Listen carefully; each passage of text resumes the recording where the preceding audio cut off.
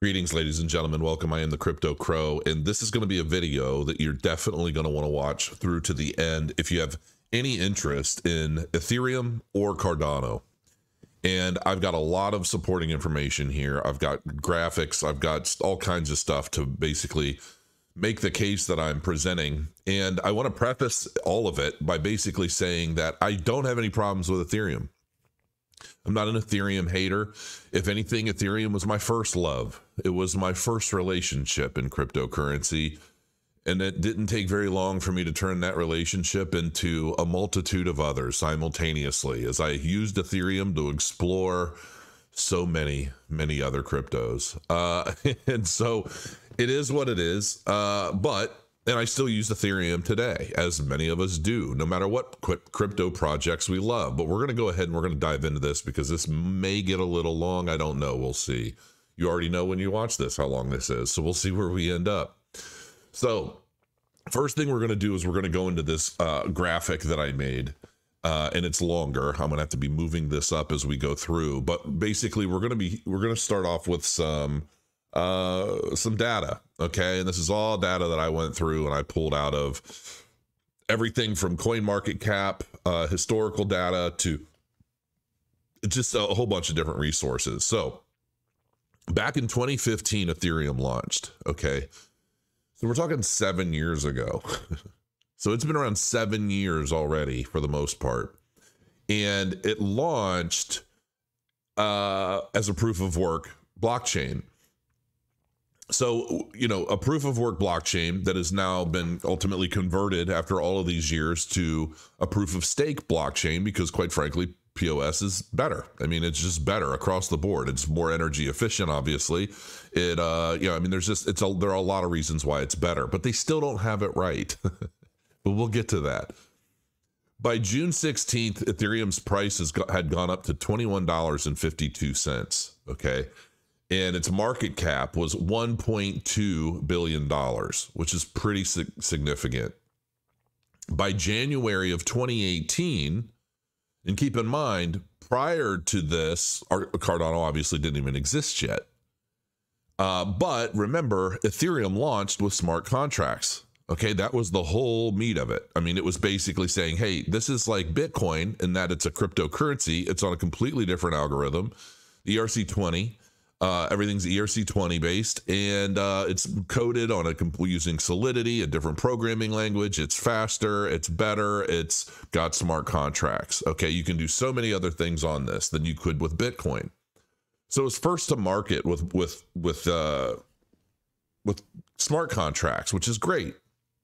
Now in 2018 uh, it peaked out at around $1,291. Now, in some of these cases, you and I both are going to know that it, market peaks and the, and the, the prices of which are going to be relative to the exchanges. Okay. There isn't necessarily a universal peak price. So, depending on what resource you use, it'll say, oh, it peaked here or it peaked there. Uh, but on January 2018, we were looking at a $1,291 Ethereum and that was at a $125 billion market cap. Pretty substantial. Okay. Pretty substantial. Now, at this point, you know, July 2017, Cardano was just two bucks. It only had a $480 million market cap. All right. And that was a little bit around the same time Ethereum was at around $21.52. Now, you'll also know that basically right after, I mean, not long after Ethereum went live, it had to hard fork. It had to leave Ethereum Classic behind with the new uh, the new version of Ethereum because there were a lot of issues associated with it, and there was a major hack on an early adopting DAO that basically stole a bunch of money. And so the devs got together and they said, "How do we get this back? How do we work this out?" Well, we're going to have to fork the blockchain and we're gonna have to create a new version of it and do a whole bunch of stuff, which they did. But in the at the at, on the same token, they had ultimately had like six other hard forks, six or seven other hard forks that that are much less more much more less well known. Okay, as I tongue tie myself. But by January of 2018, same time frame as uh, Ethereum hitting $1,291, Cardano basically reached its first big milestone, which was $1.33 at a market capitalization of about $28.8 billion. Okay, so it, it is pretty close to, at this point. But remember, at this time, Cardano still didn't have much of anything. It didn't have smart contracts. It didn't have staking. It didn't have any of that stuff yet. It was still more or less an idea with a bunch of people doing a lot of research, a lot of peer uh, peer to peer research, peer review research, all that fun stuff, and it just it hadn't amounted to much yet. Uh, there were still a lot of bugs in Daedalus wallet for that matter. We didn't have a lot of light wallets yet either. We didn't have a lot of anything at this time where it was it had reached a dollar thirty three. Okay, now it went up ethereum from from its original peak to its next peak which was about november 2021 it hit about 4860 bucks. Again in some in some cases it went up higher than that depending on the time frame. But it ultimately had gone up about 125% uh, in terms of market capitalization okay? 125% to the new 2021 peak. And it, it went up higher than that, but so did Ethereum. Again, these are the this is the resource data that I I was able to pull. We know Ethereum was higher than three dollars. It was like three hundred three dollars forty cents or something, and uh, uh Ethereum was the same. But that's not really what's important. What's important is the overall growth scale because by this next peak for a Cardano in August of 2021 at $3, it was up $91.5 billion in market capitalization, up over 216%.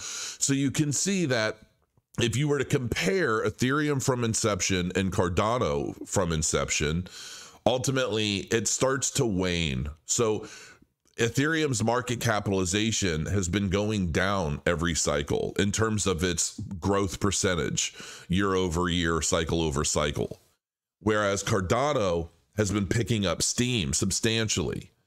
And what we're seeing is, and I even say here, Ethereum's losing steam, Cardano's building steam. So Cardano is building and building and building. Now, in 2019, staking went live on Cardano with Shelley. And ultimately, that began giving way to people being able to buy Cardano or ADA stake it to a node and start generating a return, which was substantial. And it, it meant a lot, I think, and it, it's going to continue meaning a lot. And remember at the time, the goal was just to get to a thousand nodes. Okay. Charles would say time and time again if we just get to a thousand nodes, we'll be one of the most decentralized blockchains out there. Well, we're at about 3,000 nodes to nodes to date, and that's at this near bottom position in a bear market the number of nodes has not fallen. We have not fallen in the number of nodes by, I don't know, maybe a 100 since the most recent peak. What does that mean? Well, that means that people are believing in Cardano. They're not getting rid of their nodes. They're not reducing their pledges. They're not doing anything. They're holding firm because they know that Cardano is still in its infancy in many, many ways. And even with that being the case, it's still starting to build steam and outperform Ethereum. And I don't care what any of these VCs say or what these VCs think, it's all in the numbers. You just look at the numbers. Now, to date, okay, to date, Ethereum has had over 315,157 commits on GitHub. These are development commits.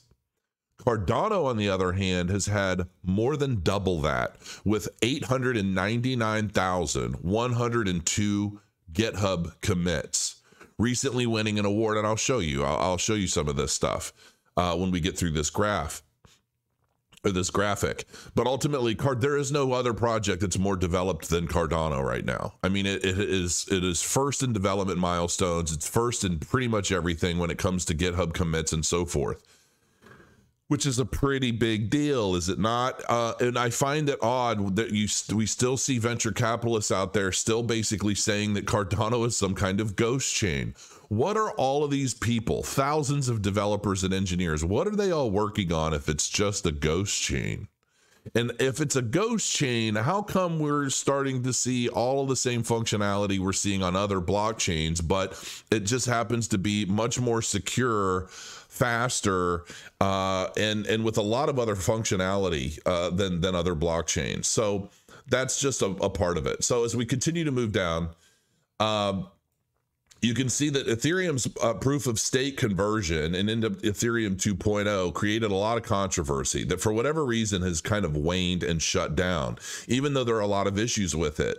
If you try to do ETH 2.0 searches in Google, you're still going to get a lot of old information because either there's just not a lot being written about it now in the bear market because there's still problems to be fixed as it relates to the Ethereum 2.0 conversion but some of the other issues are uh, that it you know it's known now that it adds censorship. I mean it's possible to censor the blockchain to some degree because of ethereum 2.0 which i don't know if that was a planned feature or if that's a uh, a symptom of some of the things that they had to change and that's not good a decentralized blockchain should not offer built-in censorship. That's something you would see on like a centralized blockchain. And typically when you have something like that, that's what, you know, people that want to keep other people quiet or restricted or limited, that's what they would use. Not something like a decentralized blockchain like Ethereum. So that that and I don't know a whole lot about that yet because I don't really spend a lot of time diving into Ethereum anymore. To me, Ethereum is like, you know, grandpa you know what i mean? And you know there's there's just a lot more happening now but to each their own. I, again i don't have any problems with it but it is what it is. And on top of that your stakes when you stake to the ethereum nodes now your stakes at this point are still locked up and you can't pull them out. And I, to my the last i saw which was maybe a week or two ago they haven't even announced when you're going to be able to get your staked ethereum back yet. Nobody really knows and it's making a lot of people squeamish because people are you know through the bear market you know fine. Uh you know however long it takes maybe nobody cares at this point. But how many people staked their ethereum to a node and weren't able to do anything about it at the peak of the last market? And what's funny is is even with that people were able to pull their stakes off of Cardano nodes because your Cardano stakes are not locked up. It's almost like working a, a, a, new job where you get paid every couple of weeks. Typically, you don't get your first check for a while because you put in the work and then you get paid. You put in the work and then you get paid. And if you were to either quit or get fired, you typically have one more check coming. Well, in Cardano and the staking uh, methods for Cardano, it's almost like, you know, you stake you have to wait a couple of weeks ultimately to get your first check. But if you pull, um, you know, let's say I've got, you know, 20,000 uh, ADA on a node and I need to use that money for something and I pull it out, I sell it off and I get it in the cash and I go buy a bike or whatever. All that means is you get less of a reward at the end of that epoch cycle uh, as it relates to you know when you took that ada out. So you're free to use your ada and do whatever you want with it. It's not locked in for good. You don't have to wait for a certain date. That's typically you know when you have to lock something up when you have to lock your capital up into something to me that screams we need this uh we need this capital. We need this locked up um more than you do. Uh, you know in the sense that they're trying to control their market for for reasons that generally are not very good is what i see from history. But that's another issue. Um as far as transactions per second now it's you know the data i found said that Ethereum can run 15 to 25 transactions per second, which is okay. It's not that great, but the problem is is that when Ethereum is in high use, and and things start to get bottlenecked, you can wait hours for these transactions. You can wait days. I know at some point there are people I'm pretty sure will wait like a day or two for transactions to con- conclude. Um, and that's you know the waiting f- hours or days for confirmations on a blockchain just because it's uh, bottlenecked through high use. I mean, how many of you guys remember even early on with Crypto Kitties and what that did to the network? I mean, that's that brought the network to a crawl. And so what we're seeing more of now in terms of volume is we're seeing DeFi applications. Well, these DeFi applications are are popular on Ethereum because well, uh there's I mean there's a lot of stuff going on on Ethereum. It's had 7 years to start building a lot of it, right? Um, so, and if you look at Cardano on the other hand, uh, on September 2021, this is after this is after the last peak, the most recent peak. Then we got smart contracts. So we still peaked out at $3 and it was about $3.40. Both of these numbers are off. Okay. But at about $3.40, it, with a $91.5 billion market capitalization, that was at the peak of a market before it even had smart contracts in play.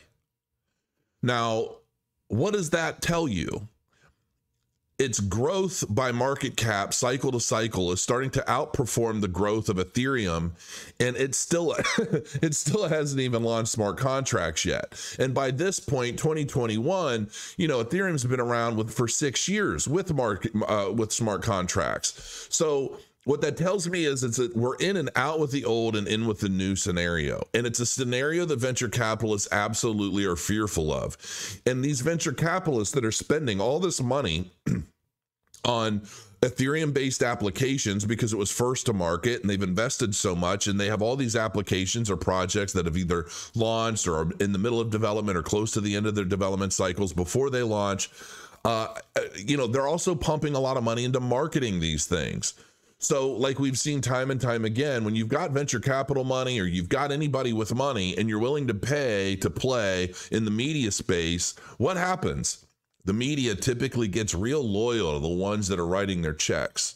And so what we've seen is, is we've seen time and time again to this very day, we see Cardano excluded from the argument when it's the biggest threat to the Ethereum ecosystem, not to mention everything else out there. I mean, let's be real about it.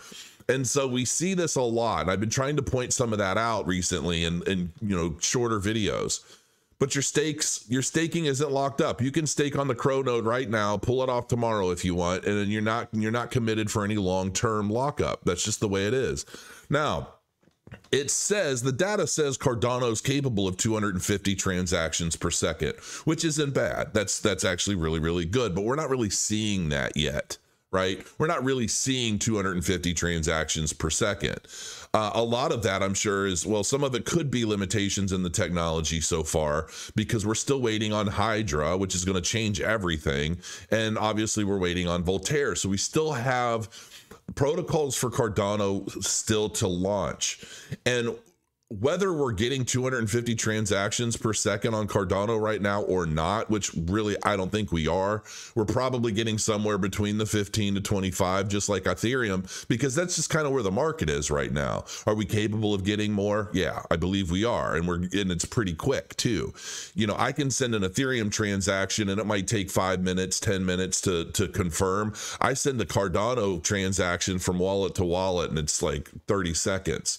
So it's much, much quicker for these uh, confirmations. And I'm pretty sure a block is minted on Cardano every 20 seconds. So every time one of those blocks is minted, you're getting confirmations. So it's much quicker. But Hydra is going to change everything on a grand scale. I mean, Hydra ultimately the goal, and keep in mind when the first when the conversation first started about Cardano and Hydra, the conversation was about just getting to a thousand nodes and getting to a million transactions per second. But Hydra, as it is, is the ultimate goal is to turn every node into 1,000 transactions per second if you've got 3,000 nodes, I mean, we can just do the math right here. Um, you've got 3,000 nodes, multiply that by 1,000, and you have 3 million transactions per second. Okay. 3 million transactions per second. Multiply that by uh oh yeah, I mean that's a second. 3 million transactions per second. Is there anything faster than that? I don't think there's anything faster than that. I think I extrapolated that out at one point, and I think I got to like 86 billion uh, transactions a day or something. Which ultimately, if you have a truly decentralized blockchain capable of even a billion transactions a day, you're cleaning house. You're cleaning house through and through. Now, you throw some of this other functionality on top of that uh, from your interoperability protocols and in your, your your side chains and all of this other stuff that is coming. Uh, I can you? I mean, what blockchain can can stand up to that realistically? I mean, uh, and I and I'm asking you wholeheartedly, uh, what what can hold up to that? So outside of this too you've got strong venture capital interest due to first market bias which we see i mean every time you look at crypto media crypto news we see this bias um, it, they have millions invested in the ecosystem and in media and so forth and so on, which ultimately helps them kind of fight the battle for you know market share to some degree. Because if they're able to control the media narrative, well, I mean, what do we know about media narrative? If you can buy it, you can own it, and if you own it, you can control a lot, right? Uh, and you can guide things to some degree, but while we're still seeing this narrative pump Ethereum's price and maintain its its uh its I don't know, viability, I guess, to some degree, while these VCs are struggling, trying to figure out how they're going to get the money they've invested out of the projects. Uh, that there's going to be a transition with that. That's my that's my opinion. There's going to be a transition, and a lot of this money, I believe, is already starting to kind of migrate into the Cardano ecosystem. We just haven't launched a lot of these projects yet. And then finally, you know, Cardano's focused on enterprise level and retail level adoption. And, and ultimately, it's trying to provide systems for economies, countries, people, governments, basically anybody that can.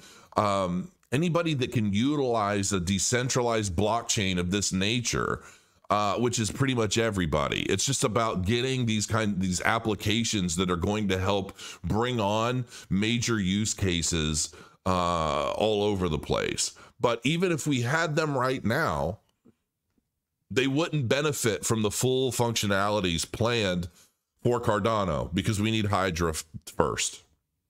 When we get Hydra, I believe that that is when we're going to start seeing some some of the most significant changes to the Cardano ecosystem that's absolutely going to change the game across the board.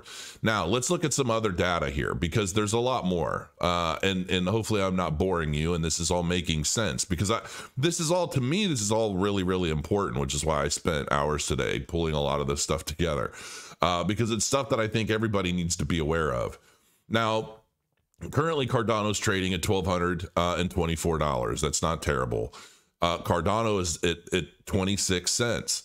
And, you know, I have a friend of mine and, and you know, and, and a lot of other people like, how did you know it was going to go lower? How did you know it was going to go lower? And I told everybody when I started to average back in, I averaged back in at 50 cents with plans to buy at, a, at another low and then really go big uh, on the next buy. And I haven't done that yet, but I did start to average in. And, and I'm very happy with, with the fact that I got my Cardano where it's at, even though I could buy double what I originally bought. That's fine too.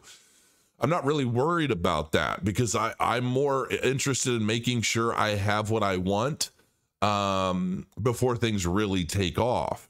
And even though I believe that we're going to be down into the teens, this is my opinion, okay? But I believe we're going to hit the teens in Cardano's price uh, in 2023.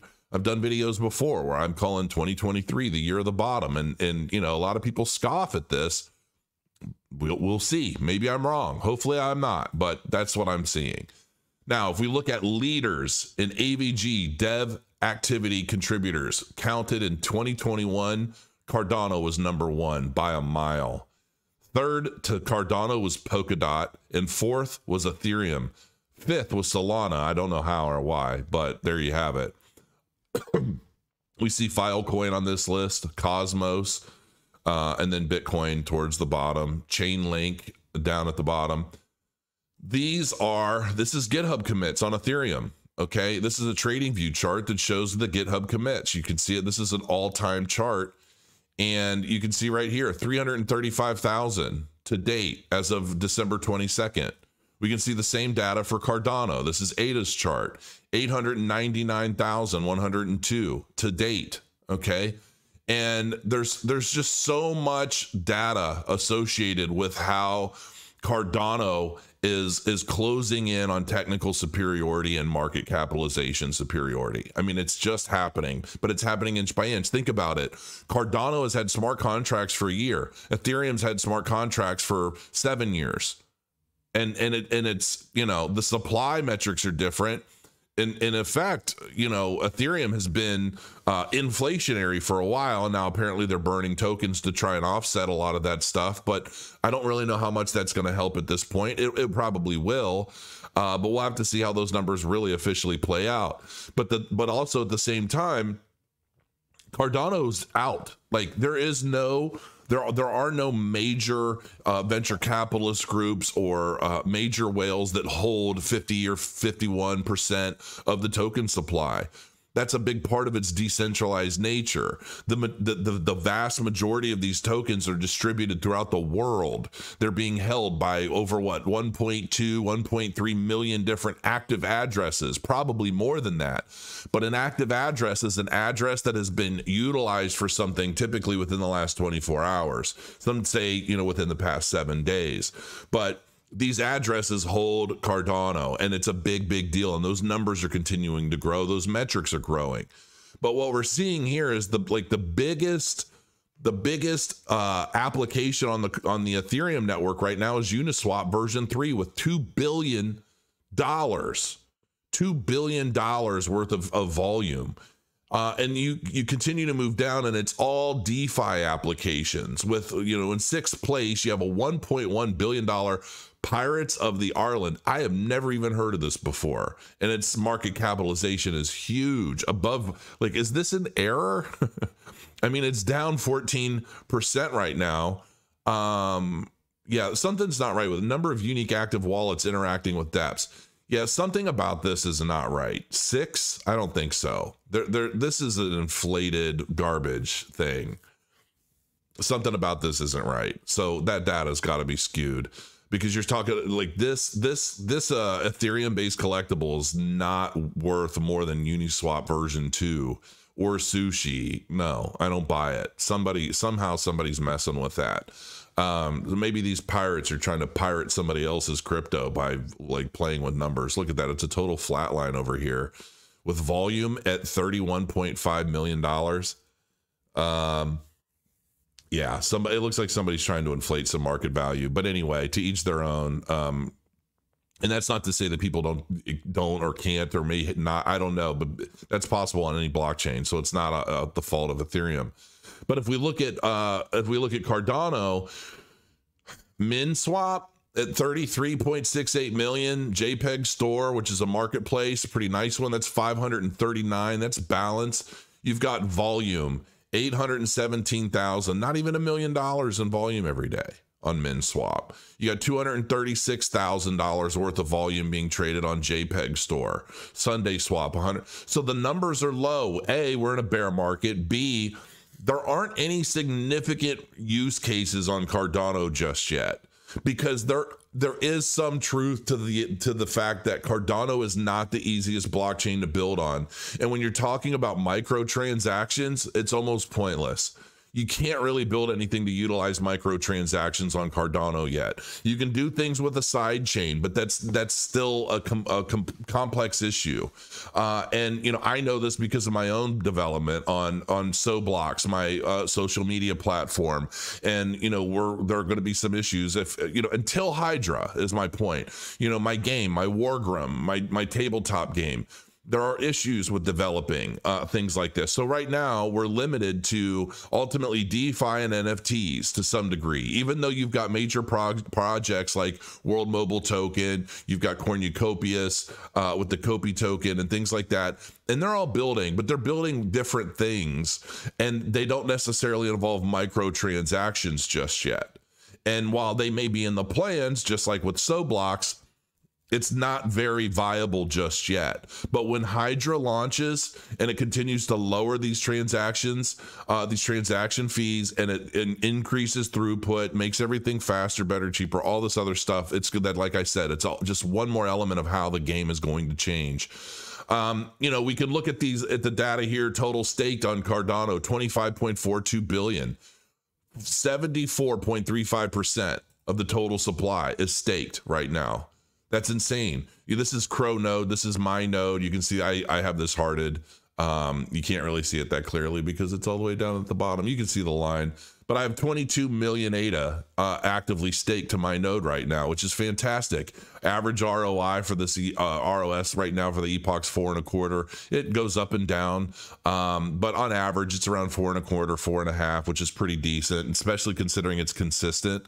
Um, live stake uh, lifetime ROS. Uh, there were some other metrics without opening the window, but anyway, total staking addresses. So, okay, so this is a metric.